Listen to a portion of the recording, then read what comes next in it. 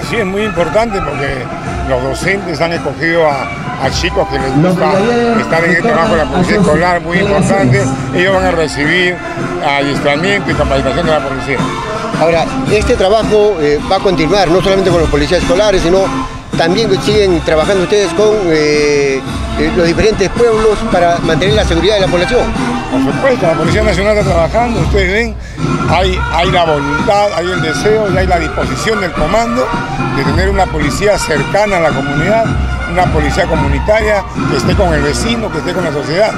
Y la Policía Nacional está para esto, para trabajar. El equipamiento que van a tener con las juntas vecinales. Sí, eso es constante, eso desde el inicio de, de esta temporada, eh, la cercanía del comisario ha sido constante con toda la comunidad. ¿Se va a realizar algún tipo de trabajo con los padres de familia? Claro, de acuerdo al cronograma de trabajo hay una serie de seminarios y capacitaciones, conversatorios con los padres de familia. Para rescatar los valores, sobre todo de los jóvenes que están a veces inmersos en sitios, eh, lugares no adecuados. Básicamente es eso, que los niños tienen que saber comportarse y para eso están los padres, están los profesores y todas, todas las autoridades creo que tenemos que colaborar ahí. Ok, voy a llamar. Coronel, disculpe, una última pregunta. Eh, se están incrementando ya los efectivos de la Policía Nacional. Coméntenos un poco, por favor. Sí, han llegado. Perdón.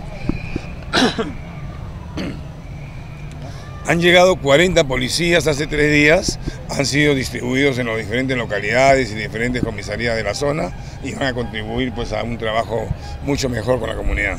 Se habla de 60 policías, estarían llegando más de repente más adelante. En el año, en el año el comando está eh, dispuesto de acuerdo a la racionalización y van a enviar más personal. Ahora se dice que 8 policías solamente para guardar el distrito. ¿Por qué tan poco efectivos, eh, coronel?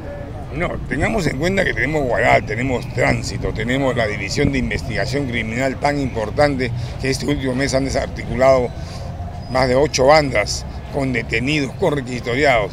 Así que la Policía Nacional no solamente es la comisaría, tenemos muchísimos sectores que tenemos que apoyar.